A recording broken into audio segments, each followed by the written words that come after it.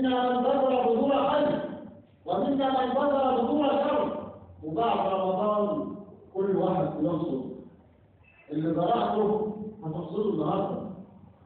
اللي زرعته في رمضان هتحصده النهارده.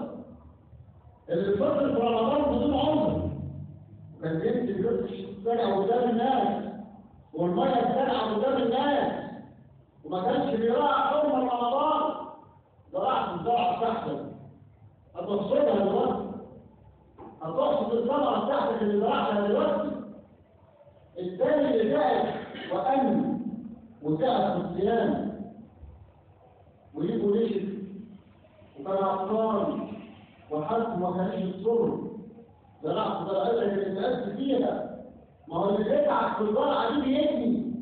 إنما اللي ما بيتعبش اللي ياخدها على الجاهل خلاص بيضيع انت تعبت زرعت وليس زرعتك يبقى احصد دلوقتي معاد الحفاظ الحفاظ ما يبقاش في رمضان ابدا الحفاظ في رمضان لناس انما الحفاظ الاعظم في انسانين العاد سنه كامله وتحصل في رمضان في القلب ودي ثمره عظيمة في ثمرات ثانية الثمرات اللي هتحصلها الثانية في نفس القلب يبقى الثمرات الثانية هتستمر معاك السنة كلها.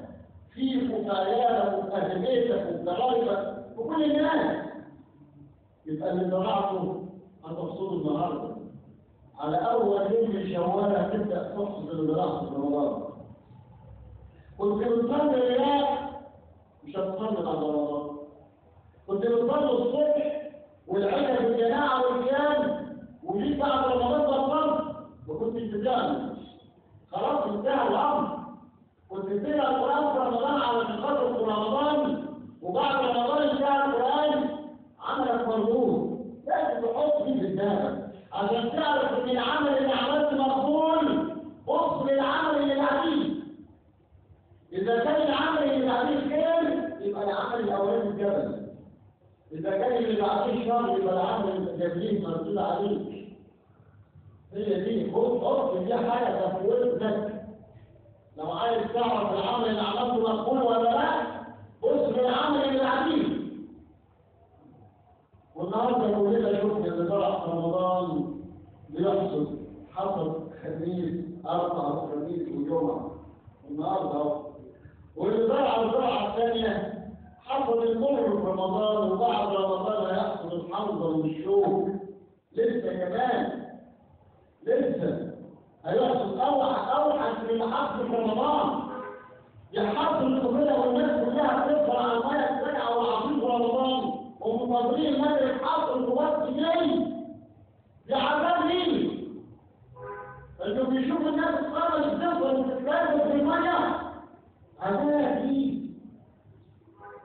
والمحاكم فيها كان يحس غصب عنه. الناس داخل الجامع بتصلي واللي مريح في الجامع واللي ماسك المصحف وهو رايح في الشوارع. واللي ماسك لي كاس واللي ماسك لي كاس في الشارع ويشرب إنما ده ندم ندم وانت مؤثر دلوقتي. لأن الخير اللي جابه ده مش هيعوضه لأنه مش ضامن السنة الجاية هيعيش ولا لأ. سيادة سيادة الخير اللي ربنا اداهوله وفضل عليه الشر ده اللي هو كان بيسمع عبدا. طب المصطفى صلى الله عليه وسلم عندما يقول؟ يقول له العزة فاتقوا طب إيه ده الاستقامه؟ إن الذين قالوا ربنا الله ثم استقاموا فلا خوف عليهم ولا هم يحزنون. لا خوف عليهم ولا هم يحزنون. أولئك من هم دول. من هم دول لهم جزاء ولهم نصيب أولئك أصحاب الجنة خالدين فيها. ها؟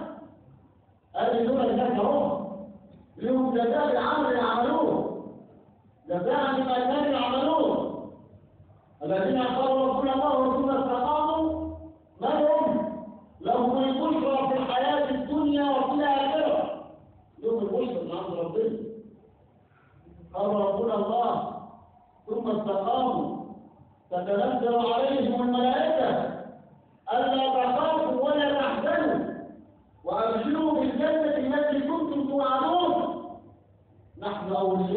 الحياة الدنيا وفي الآخرة.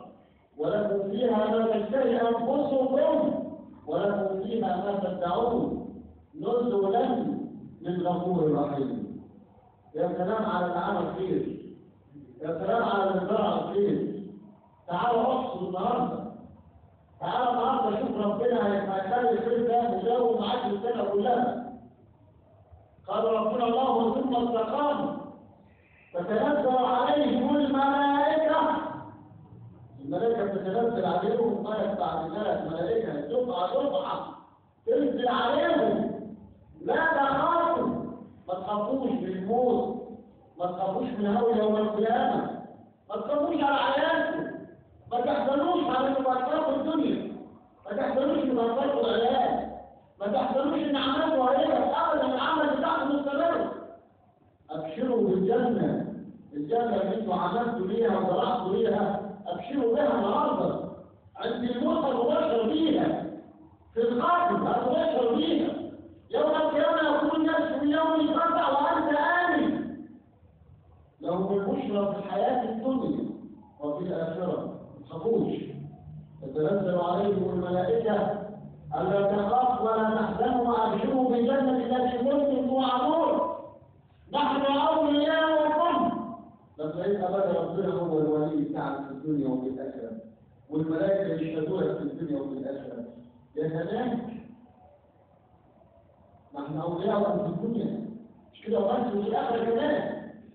وكمش ولكم فيها ما تحتاج أنفسكم.